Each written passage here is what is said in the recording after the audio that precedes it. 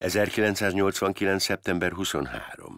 A Szovjetunió kész megkötni a hadászati fegyverkorlátozási egyezményt szinte bármi áron. A hidegháborúnak lassacskán vége.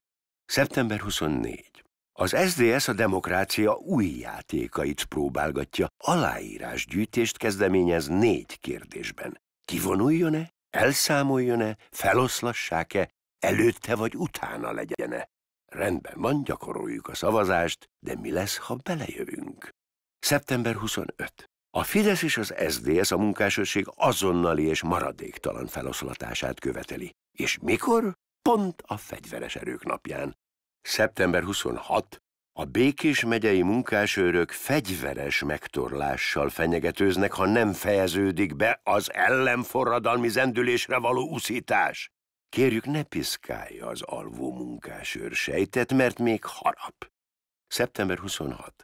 Az országgyűlés elfogadja a be- és kivándorlási, valamint az útlevél törvényt, amely már nem korlátozza a külföldi tartózkodás idejét. Hurrá! Utazhatunk! De miből?